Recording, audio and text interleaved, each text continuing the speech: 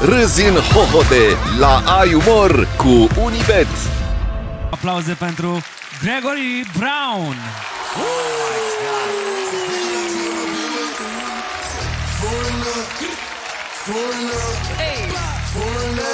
E pe stand-up. Hey. Hello. Hello. Hello. So I speak English. Yeah, so- yeah, yeah. We- Yeah, you can tell, right? Yeah, yeah. I moved here just to get married. I married a beautiful Romanian woman, but just getting into Romania was a pain in the butt.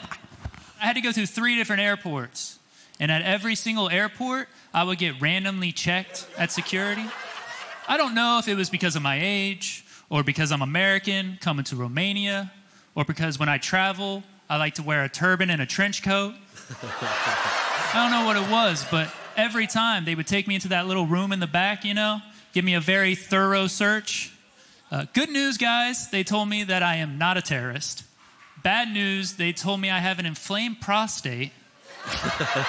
That's not good. But before I came here, I tried to learn as much as I could about Romania. Like, I tried to learn Romanian, but that's hard, you know? Like, Romanian to me sounds like the minions from the Minion movie.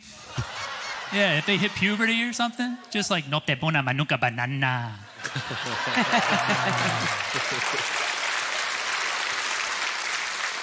but I, I learned a lot of cool stuff before I came. Like you guys probably know the number one tourist destination in Romania is Dracula's Castle, right? You guys know number two? Airport departures. But I learned also that Romanians are super smart, very smart. Like the guy that invented the jet engine uh, and the jet plane was Romanian, a guy named Henry Coandă.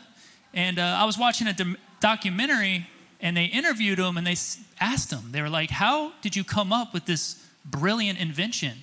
And he was like, I was just trying to get out of Romania as fast as possible. But I did. I moved here to get married. I married a beautiful Romanian woman. Uh, she's gorgeous. Thank you. Ah, am înțeles. Da unde e? Da unde e? Da unde e, mă? Da unde e? Da unde e? Botoșan. Yeah, she's great. She's got that classic European body shape. You know, that classic Coke bottle shape. American women have more of a classic Coke can shape. She's great. And like before her, you know, I was, well, in America, we call it desperate. I was very, very desperate. Like every time I went out to have sex, it was like I was going out for a job interview. Like I would get super nervous. I'd wear my nicest clothes.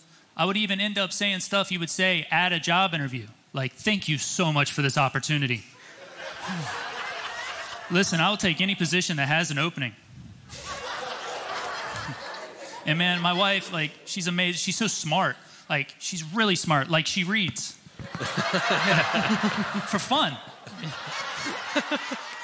Uh, it's just so different for me to have an amazing, beautiful, smart wife. Uh, like, my ex was uh, a stripper, and I should have known right off the bat that that was a bad sign. Uh, there were other signs as well. Like that first night I met her at the strip club, she was wearing this long red dress. So on the pole, she even looked like a red flag. Physically looked like a red flag, you know? But I did learn one really important thing about Romanians since I got here. And you know who speaks the best English in Romania? The homeless people. yeah.